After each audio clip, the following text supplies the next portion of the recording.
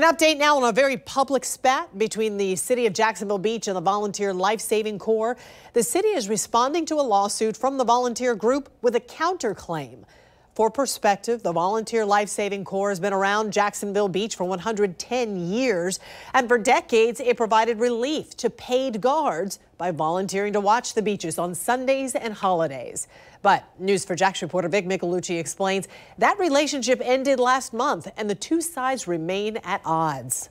As temperatures have heated up at the beach, so have tensions between city leaders and volunteer lifeguards. Last month, we told you the city of Jacksonville Beach cut ties with the Volunteer Life Saving Corps after a Department of Labor investigation found guards couldn't be paid some days and volunteer the others.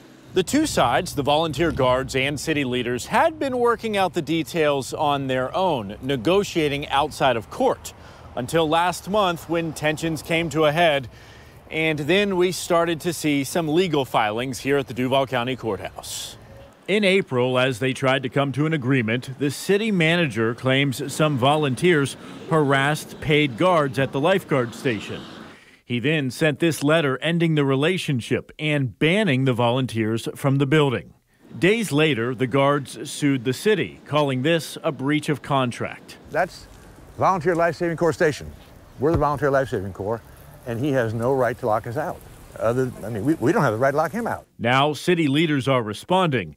This countersuit filed Tuesday claims the volunteers breached their own contract with labor violations.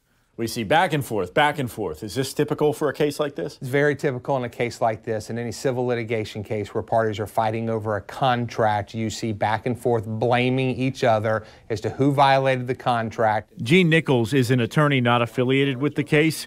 He hopes this is resolved without costing taxpayers too much more. It's all going to come down to whether or not a circuit court judge believes that that contract was lawfully binding or not. And I do want to point out, even without the volunteer guards on Sundays and holidays, you're still going to see lifeguards out there on the beach. They're just paid city workers. City leaders say that beachgoers don't need to worry. They've got everything under control. I'm Vic Micolucci, Channel 4, the local station.